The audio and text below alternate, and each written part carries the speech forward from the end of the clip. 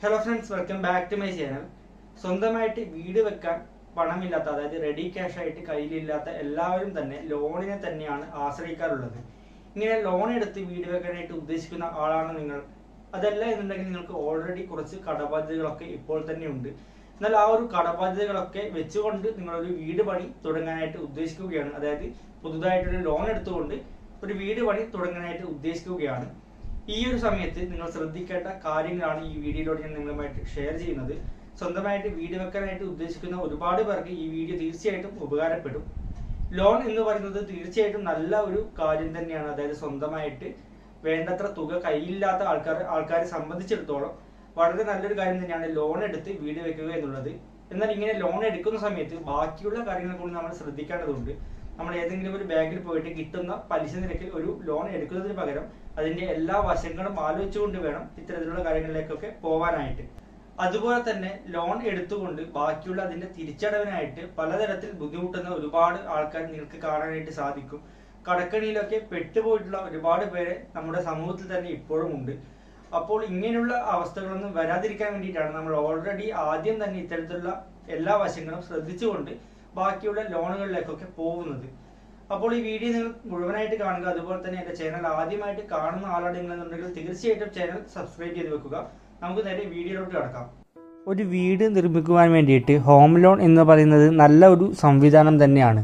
എന്നാൽ ഇപ്പോൾ തന്നെ പല കടബാധ്യതകളുള്ള ആൾക്കാരാണെങ്കിലോ ലോൺ മാനേജ്മെന്റ് എന്നത് പലരെ സംബന്ധിച്ചും ബുദ്ധിമുട്ടുള്ള കാര്യം തന്നെയാണ്. പ്രത്യേകിച്ച് ഉയർന്ന പലിശ നിരക്കുള്ള സാഹചര്യത്തിൽ. ബഡ്ജറ്റ് കൈകാര്യം ചെയ്യേണ്ടത് പ്രധാനമായിട്ടുള്ള ഒരു കാര്യം തന്നെയാണ്. ഇപ്പോഴേ നടത്തുന്ന ചില മുന്നൊരുക്കങ്ങളൊക്കെ ഭാവിയിൽ ഹോം ലോണിനുള്ള നിങ്ങളുടെ യോഗ്യത വർദ്ധിപ്പിക്കാൻ സാധിക്കും. ഇതിനായിട്ട് ആദ്യം തന്നെ പറയുന്നൊരു കാര്യം പറ്റാവുമ്പോഴെല്ലാം തന്നെ ഇ എം ഐ മുൻകൂറായിട്ട് അടയ്ക്കാൻ ശ്രമിക്കുക. ഇതിന്റെ ആദ്യപടി നിലവിലുള്ള കടബാധ്യത കുറയ്ക്കാൻ ശ്രമിക്കുക എന്നതാണ്. വർഷാവർഷം അടയ്ക്കേണ്ടതിനേക്കാൾ അല്പം അധികം അടയ്ക്കാൻ കഴിയുമോ എന്ന് കണക്കുകൂട്ടുക. പറ്റുമെങ്കിൽ ഇങ്ങനെ അടക്കുന്നത് ഒരുപാട് പലിശ ലാഭിക്കാൻ സഹായിക്കുകയും ചെയ്യും. കൂടാതെ ലോൺ എളുപ്പം അടച്ചു തീർക്കാനും സാധിക്കുന്നു. ഇതിനായിട്ടുള്ള ഒരു വഴി മാസത്തിൽ ഇ എം ഐ അടയ്ക്കുമ്പോൾ കുറച്ചു തുക കൂട്ടി അടയ്ക്കുക എന്നതാണ്. ഉദാഹരണത്തിന് പതിനയ്യായിരം രൂപയാണ് ഇ എം ഐ എങ്കിൽ മുപ്പതിനായിരം രൂപ നിങ്ങൾക്ക് അടയ്ക്കാൻ പറ്റുമെങ്കിൽ അത് ചെയ്യുക. അതായത് നിങ്ങൾക്ക് ഒരു മാസത്തിൽ ഏകദേശം കൂടുതലായിട്ടുള്ള ഒരു വരുമാനം ലഭിക്കുകയാണെങ്കിൽ ആ ഒരു പൈസ കൂടി ഇ എം ഐയിലേക്ക് ചേർത്തുകൊണ്ട് നിങ്ങളുടെ പലിശ കുറയ്ക്കാനായിട്ട് നിങ്ങൾക്കുള്ള ആ ഒരു അവസരം അവിടെയുണ്ട്. അടുത്തതായിട്ട് വരുന്ന കാര്യം കുറഞ്ഞ പലിശ നിരക്കിൽ ഹോം ലോൺ റീഫിനാൻസ് ചെയ്യുക എന്നുള്ളതാണ്. കടം കൊണ്ട് ബുദ്ധിമുട്ടുകയാണെങ്കിൽ കുറഞ്ഞ പലിശ നിരക്കുള്ള ഹോം ലോൺ കൊണ്ട് കാര്യമുണ്ടോ എന്ന് നോക്കുക. നിലവിൽ ഹോം ലോൺ ഉള്ളവർക്ക് പലിശ നിരക്ക് കുറഞ്ഞു കിട്ടുന്നത് ഏറെ സഹായിക്കും.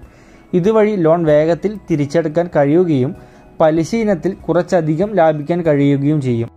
ഇതിന് രണ്ട് വഴികളുണ്ട്. ഒന്ന് നിലവിൽ വായ്പയെടുത്ത സ്ഥലത്തു നിന്ന് തന്നെ ലോൺ റീഫിനാൻസ് ചെയ്യുക. അല്ലെങ്കിൽ അടയ്ക്കാൻ ബാക്കിയുള്ള തുക കുറെ കൂടി ആകർഷകമായിട്ടുള്ള പലിശ നിരക്കുള്ള മറ്റൊരു വായ്പാ സ്ഥാപനത്തിലേക്ക് മാറ്റുക. കുറഞ്ഞ പലിശ നിരക്കുള്ള സ്ഥാപനത്തിലേക്ക് ഹോം ലോൺ മാറ്റുക എന്നത് ഇന്ന് മുമ്പത്തേക്കാൾ ലളിതമായിട്ടുള്ളൊരു കാര്യം തന്നെയാണ്. ഇന്ന് നമ്മുടെ വീട്ടിലിരുന്ന് തന്നെ ഫോണിലും കമ്പ്യൂട്ടറിലും വിവിധ ബാങ്ക് ലോണുകളെ പലിശ നിരക്കുകൾ പരിശോധിച്ച് നിങ്ങൾക്ക് തീരുമാനം എടുക്കാനായിട്ട് സാധിക്കും. കുറഞ്ഞ നിരക്കുള്ള ഹോം ലോണിനായിട്ട് മിനിറ്റുകൾക്കകം അപേക്ഷിക്കുകയും ചെയ്യാം.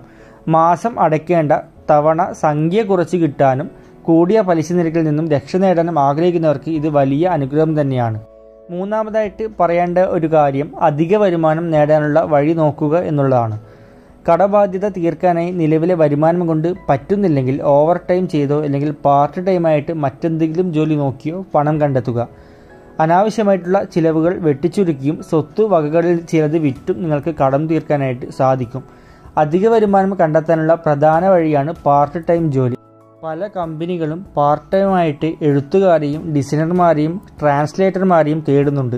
നിങ്ങൾക്ക് താല്പര്യമുള്ള മേഖലയിൽ ജോലി ചെയ്യാൻ സാധിക്കും. കടം കൊണ്ട് നിൽക്കാൻ പറ്റാത്ത അവസ്ഥയാണ്. എന്നാലും ബാങ്ക് ലോൺ എങ്ങനെയൊക്കെയോ അടയ്ക്കുന്നുണ്ട് എന്നാണ് നിങ്ങളുടെ അവസ്ഥയെങ്കിൽ കടക്കണിൽ നിന്നും ഊരാൻ നിങ്ങൾക്ക് മുമ്പിൽ ഒരുപാട് വഴികളുണ്ട്.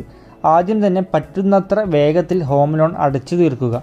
ഇത് പലിശ ഇനത്തിൽ കുറേ പണം ലാഭിക്കാനായിട്ട് സഹായിക്കും. കൂടാതെ വീടിന്റെ ഉടമസ്ഥതയും ലഭിക്കും. ശേഷം പുതിയ ഹോം ലോണിലേക്ക് പോകുന്നതിന് മുമ്പ് അത്യാവശ്യ സാഹചര്യങ്ങൾ ഉപയോഗിക്കാൻ അല്പം പണം കയ്യിൽ കരുതണം. ഇനി ലോൺ റീഫിനാൻസ് ചെയ്യുന്നതാണ് ആലോചിക്കുന്നത് എന്നുണ്ടെങ്കിൽ കൃത്യമായിട്ട് കണക്കുകൂട്ടൽ നടത്തി അങ്ങനെ ചെയ്യുന്നത് കൊണ്ട് കാര്യമുണ്ട് എന്നും ഉറപ്പിക്കണം. ഇത്രയും കാര്യങ്ങളാണ് കുറച്ച് ടിപ്സായിട്ട് നിങ്ങളുമായിട്ട് ഷെയർ ചെയ്യാനുള്ളത്. വീട് വെക്കാനായിട്ട് കടമെടുത്ത് പെട്ടുപോയ ഒരുപാട് ആൾക്കാർക്ക് ഈ വീഡിയോ ഇഷ്ടമായി അല്ലെങ്കിൽ ഈ വീഡിയോ ഉപയോഗപ്രദമായി എന്ന് ഞാൻ കരുതുന്നു. തീർച്ചയായിട്ടും ഇത്തരത്തിലുള്ള വീഡിയോസ് ഇനിയും കാണുവാനായിട്ട് എന്റെ ചാനൽ സബ്സ്ക്രൈബ് ചെയ്ത് വെക്കണം. അതുപോലെ തന്നെ എന്റെ ചാനലിലുള്ള ബാക്കിയുള്ള വീഡിയോസൊക്കെ ഒന്ന് കാണുവാനായിട്ട് ശ്രദ്ധിക്കുക. ഇൻഫോർമേറ്റീവ് ആയിട്ടുള്ള മറ്റൊരു വീഡിയോയുമായിട്ട് നമുക്ക് വീണ്ടും കാണാം.